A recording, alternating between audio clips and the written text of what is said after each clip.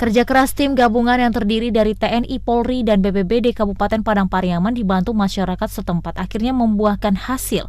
Empat dari tujuh orang korban yang masih tertimbun tanah longsor akhirnya ditemukan dalam kondisi sudah tidak bernyawa.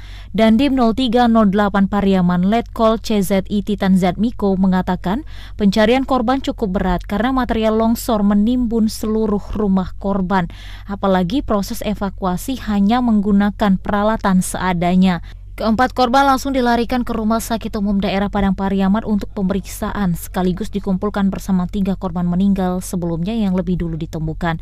Total korban yang tertimbun tanah longsor di Korong Tanah Taban, Nagari Pasialawe, Kecamatan Lubua Aluang, Kabupaten Padang Pariaman, berjumlah tujuh orang yang merupakan satu keluarga.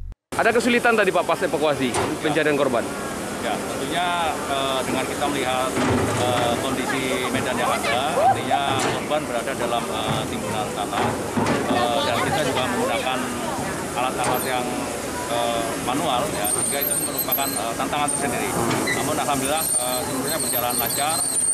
Total keseluruhan tujuh korban bisa kita temukan dan kita evakuasi ke rumah sakit umum Parit Sebelumnya bencana tanah longsor yang menimbun satu keluarga di Padang Pariaman itu terjadi pada Rabu malam seiring tingginya curah hujan mengguyur daerah Padang Pariaman sepanjang Rabu siang sehingga menyebabkan bukit yang berada di belakang rumah korban longsor dan merusak tiga rumah warga di lokasi itu.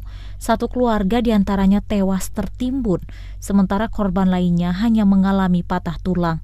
Melihat kondisi cuaca yang terjadi, Dandi meminta warga untuk waspada karena cuaca ekstrim masih berpotensi terjadi dalam beberapa hari ke depan sehingga rentan memicu bencana. Dari Padang Pariaman, demikian laporan Abdul Syaril, TVRI Sumatera Barat.